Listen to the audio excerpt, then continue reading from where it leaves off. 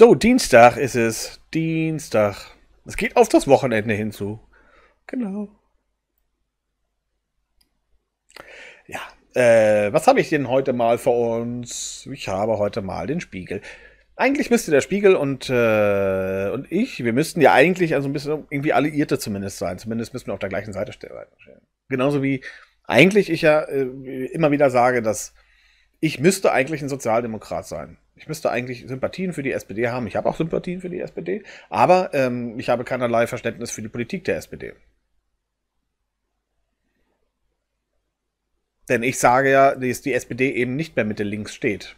Dass sie genau von Schröder dahin, da weg manövriert wurde, von Mitte links auf Mitte rechts. Und da auch immer noch ist. Aber in der Bevölkerung hat sie immer noch dieses Mitte-linke Image. Das gleiche beim Spiegel, da war es halt nicht Schröder, da war es tatsächlich Stefan Aus. Der hat den Spiegel von Mitte links auf Mitte rechts gedreht.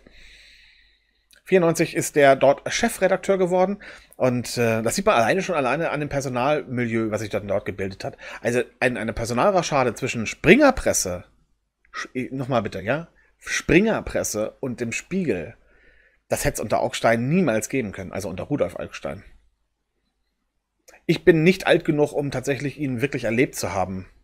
Ähm, ja, der ist tatsächlich, ähm, da bin ich, äh, der ist jetzt 2002, ist der gestorben in Hamburg. Aber, äh, ne, also von daher, da klar habe ich ihn noch erlebt, aber ähm, so richtig nicht.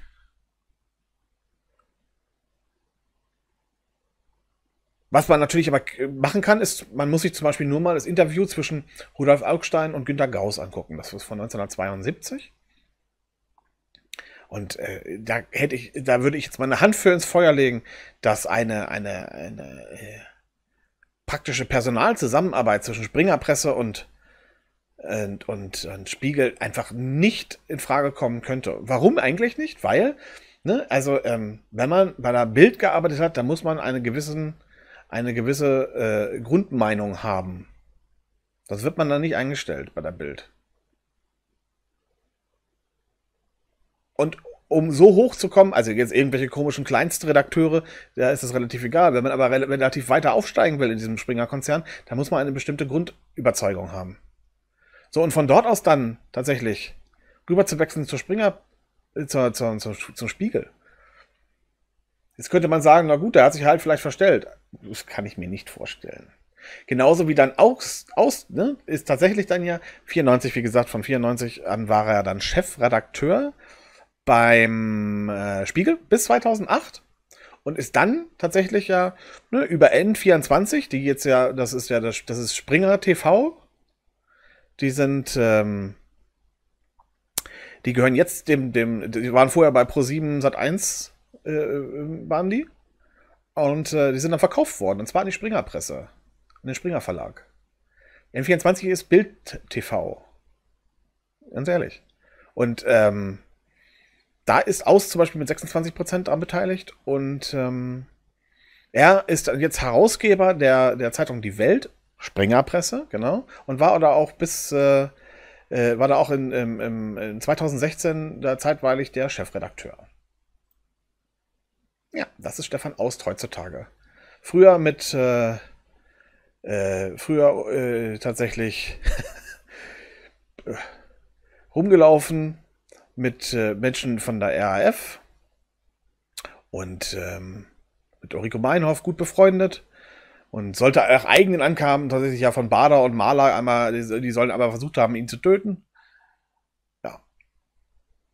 Aber ähm, der ist dann jetzt einfach bei der Springerpresse gelandet. So, das Milieu, was sich dann da beim Spiegel dadurch gebildet hat, dass da dieser, äh, ne, äh, das kann man daran erkennen, dass jetzt ein äh, ne, Joachim Salzwedel, der ist ganz lange, der ist lange Jahre äh, ähm, äh, Kulturredakteur beim Spiegel und der hat jetzt ähm, für eine, für die Sachbuchbestenliste, die, oder Empfehlungsliste, besser gesagt, äh, in Deutschland, ähm, ein Buch in diese Liste reingebracht, durch äh, außergewöhnliche Umstände, das ganz klar, ganz klar eine, eine, eine rechte Verschwörungstheorie ist, die beziehungsweise eine, so weit rechts ist, dass man, dass man alleine im Vorwort schon daran zweifelt, dass man auch nur ansatzweise diesen Menschen ernst nehmen kann. Ganz kurz zu dieser Liste, das ist die Sachbuchempfehlungsliste von NDR und Süddeutscher Zeitung. Es gibt ja einmal die, die, die Spiegel-Sachbuch-Bestsellerliste, das sind die Bücher, die schon verkauft wurden. In dieser Liste stehen die Bücher, die jetzt äh, von einer Jury empfohlen werden, dass man sagt, hier, da vielleicht mal reingucken. Und die landen dann später ziemlich sicher dann halt auch auf der Spiegel-Bestsellerliste. Äh, äh, diese Jury ist zusammengesetzt aus ganz vielen verschiedenen Menschen. Das ist, wie gesagt, NDR und Süddeutscher Zeitung bringen die heraus.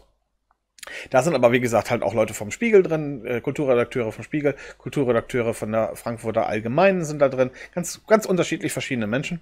Und bisher war es eigentlich so das ungesch ungeschriebene Gesetz. Man, jeder Redakteur bekommt 20 Punkte und die verteilt er auf verschiedene Bücher. Das hat jetzt diesmal äh, Johannes Salzwedel etwas anders gemacht. Er hat seine gesamten 20 Punkte genommen und als einziger auf dieses Buch gesetzt. Und dadurch ist dieses Buch auf Platz 9 dieser Bestenliste gekommen. So richtig hat das keiner so richtig mitbekommen was denn das eigentlich für ein Buch ist, weil, ja, ich hätte was gesagt, kannte keiner so richtig. Aber was passiert dann natürlich ganz einfach? Dann guckt man sich mal an, was denn dieser, weil es halt so außergewöhnlich ist, was denn dieser Mensch denn da auf einmal, äh, ähm, was denn dieser Mensch dann tatsächlich dann da äh, hier empfiehlt. Weil es, wie gesagt, ist ja jetzt nicht so, nicht so, bisher hat man das einfach nicht so getan. So, und was findet man da alleine im Vorwort? Ja? Im Vorwort des Buches wird Bundeskanzlerin Angela Merkel, CDU, im Sinne der Verschwörungstheorie einer Umvolkung eine Überwältigung der ethisch deutschen Bevölkerung vorgeworfen. Also das hätte strikt aus dem AfD-Parteiprogramm sein können, oder? Außerdem sei Auschwitz ein Mythos, welcher der Diskussion entzogen werden soll.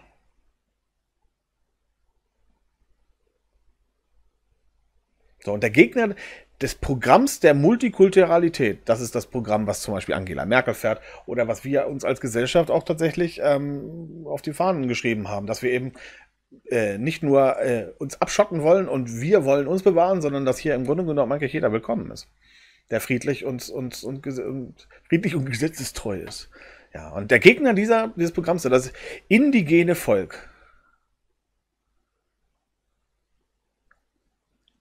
Also, Deutschland den Deutschen, Aria voran.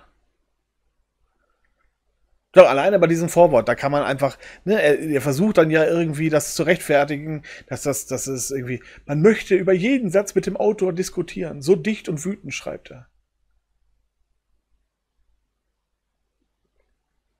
Das sagt äh, dieser Johannes Salzwedel. Ich möchte mit diesem Autor nicht diskutieren. Weil wer so einen, wer so einen Blödsinn schreibt, mit dem kann man auch nicht, also es wird ja immer gerne, man muss das Gespräch suchen. Ich sehe das ein bisschen anders. Man muss weiterhin Argumente bringen, immer und immer wieder. Aber das direkte Gespräch muss man mit solchen Leuten gar braucht man gar nicht führen, weil es ist komplett sinnlos, sowas zu machen. Solange die nicht, solange da nicht so ein Grundgroschen gefallen ist und die tatsächlich drüber nachdenken, ist ein ähm, man muss denen die Argumente um die Ohren werfen. Das stimmt. Aber in einem persönlichen Gespräch, eine Diskussion, ist er komplett nutzlos. Weil die, äh, die hören ja nicht zu. Ja.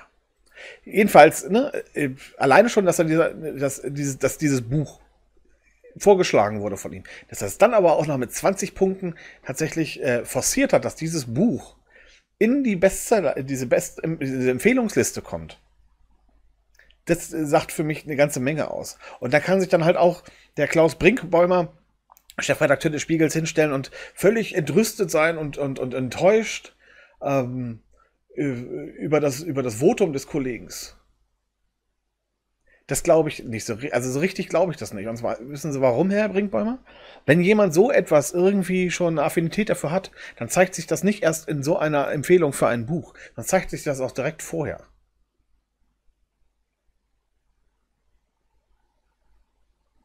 Und wenn so ein Mensch bei Ihnen arbeitet, dann weiß man ungefähr, da kann man sich doch vorstellen, was für ein Milieu da gepflegt wird bei Ihnen.